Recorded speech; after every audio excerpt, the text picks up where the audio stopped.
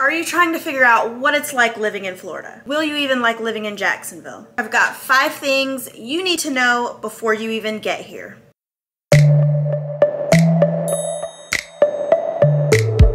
Hey everyone, I'm Elizabeth Peters with eXp Realty, and I'm a realtor here in beautiful Northeast Florida. Jacksonville continues to dominate lists as one of the top cities to live in 2022. And it's no surprise with the amount of job growth and opportunities, which also led to a continued increase in income as well. But in today's video, I wanted to share some real things you still need to know before moving here. The fact that we do not pay state income taxes is a huge contributing factor that brings people to the area. But there's a very important thing I want you to know, and that is in order to sort of balance that out, property taxes are going to be much higher here than other places that do have to pay state taxes. Although you will have several exemptions available to you that will hopefully lighten some of that load if you are a property owner in Florida. However, while our property taxes are certainly not the best, we're still certainly not the worst. As of 2022, Florida sits at about 0.98% for the entire state, which is just below the national average. It does vary depending on the area and the neighborhood, but Duval County right now is at about 0.85%. Right now, the average median price for a home in Jacksonville is about 315000 That would mean you could expect to pay somewhere around $2,700 a year for property taxes. So just remember, while our property taxes are going to be higher because of the no state income tax, Florida still sits just slightly below the national average, and Jacksonville sits just slightly below the state average. You see,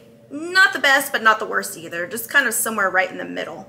But this is definitely a conversation you should have with whichever realtor you decide to work with when you're starting the home buying process, since these change so frequently. The next thing I want to address is our education system. Florida, as a state, typically ranks very high in education, but Duval County does continue to lead in numbers of struggling schools right now, which can't be great.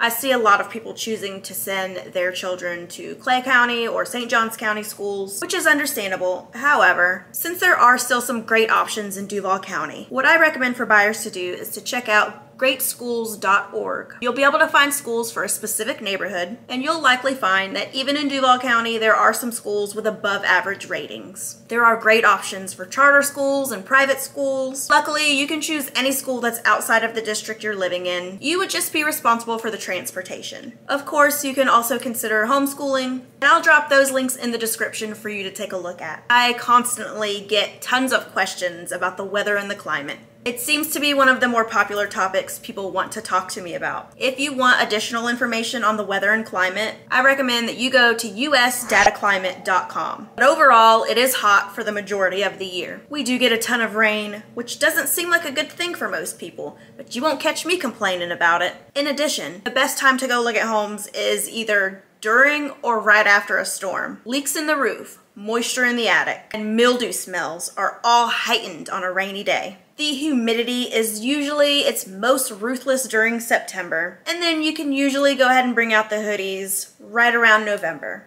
Our winters are very mild, with high temperatures averaging in the 60s and low temperatures generally somewhere in the 40s. There's absolutely no need for a snow shovel. We have about a handful of freezing days, usually between December and February. The main thing I need you to know is that regardless of the season. Some neighborhoods will flood way worse than others, and many accidents happen when people are trying to navigate flooded streets. I would avoid doing that altogether if you have the ability to just wait. I do want to address the commute times. You need to give yourself 30 minutes minimum to get where you're going no matter what. For some people this is normal. For a lot of other people coming from very small towns, 30 minutes is a long drive. If you're looking to move somewhere with a high walkability score, there are a few neighborhoods that would allow this, but not many. Overall, you will need a vehicle and it's going to be very challenging without one. Jacksonville is huge and a lot of people moving to the area are very shocked by this. The city is spread out over 850 square miles on top of population more than 900,000 compared to the national average. We are still below average commute times. So I would say for this area, you should go ahead and plan for a 30 minute drive at a minimum unless you're driving within your immediate neighborhood. People have their opinions that Florida is not a southern state due to the wide range of diversity. The diversity part is true. In just a matter of a one hour drive, it can seem like a completely different culture. It could seem like a completely different environment. I make no disputes about that. It's something that I've always embraced and feel like it's what sets us apart from some of the other states. Even just from the World Golf Village to St. Augustine Beach to downtown historic St. Augustine. It can feel like three completely different regions. Jacksonville Beach to Orange Park.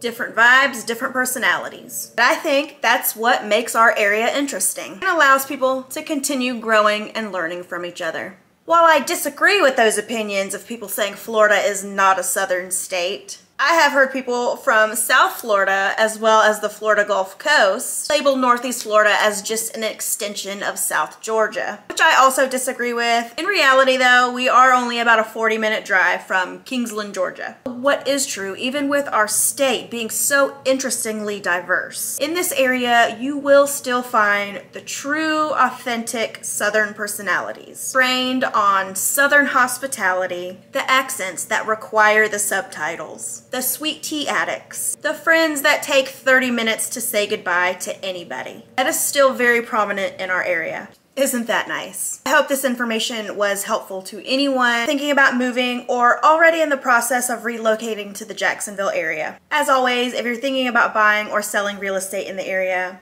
feel free to send me an email. I'm happy to help. If you did enjoy this video, please click the like button for me and consider subscribing to this channel, Elizabeth Talks Jacksonville if you're interested in home trends, real estate in general, or what life is like in the Jacksonville area. You can also follow me on Facebook or Instagram and find more information by checking my link tree down below. Thanks so much again for watching and I hope to see you next time. Happy house hunting!